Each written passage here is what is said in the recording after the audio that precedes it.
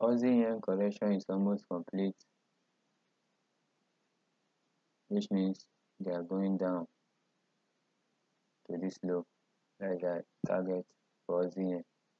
so if we go to 4 hour time frame we see that this ABC looks complete. Although the way they went down here and the way they are climbing up will mean that they can still struggle to drop which will then make this the B